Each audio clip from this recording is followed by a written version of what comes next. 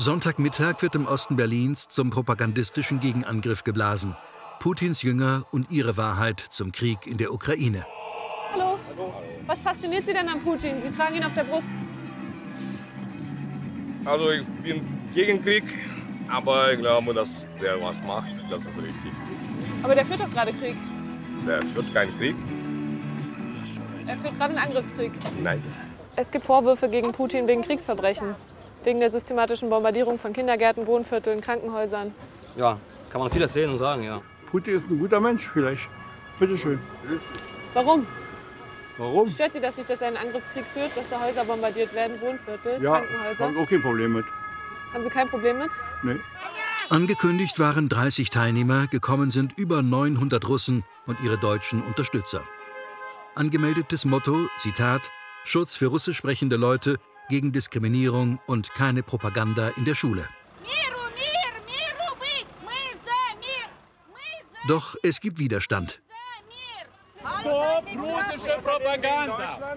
Das ist die russische Propaganda. Nein, ihr sollt euch alle schämen. Ich bin gegen russische Propaganda.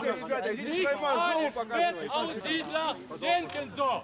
Die Spätaussiedler sind gegen den Krieg. Wir finden das fürchterlich, wir finden das beschämend. Wir wollen unseren Standpunkt hier ganz, ganz klar machen. Wir sind gegen Putins Angriffskrieg und wir gehen mit unserer Fahne des, des Widerstands, also das ist die, die weiß-blau-weiße Fahne des äh, globalen russischen, russländischen Widerstandes gegen den Krieg.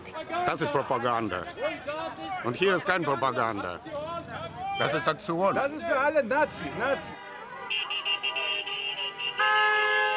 Nächstes Ziel für den Autokorso, das sowjetische Ehrenmal im Treptower Park, errichtet für die im Zweiten Weltkrieg gefallenen Soldaten der Roten Armee. Ein Lied wird angestimmt. Es handelt von einem Mädchen namens Katjuscha. Katjuscha werden auch die russischen Raketenwerfer genannt, besser bekannt als Stalin-Orgeln.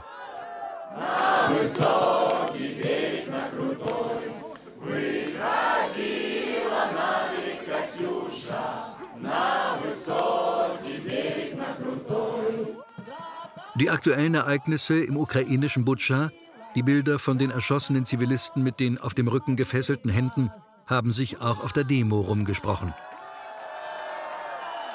Es sind in Kiew über 300 tote Zivilisten gefunden In worden. Kiew. Bedenken ja, Sie weil sie, weil sie von ihren eigenen Soldaten heute? als Geiseln genommen werden und beschossen werden von ihrer eigenen Armee.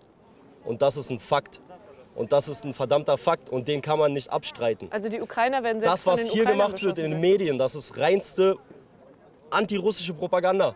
Es wird hier alles dafür gemacht, dass Russland diskreditiert wird. Aber der alles. Kreml macht doch die Propaganda. Kreml macht Propaganda, natürlich, ja. Und hier nicht, oder was?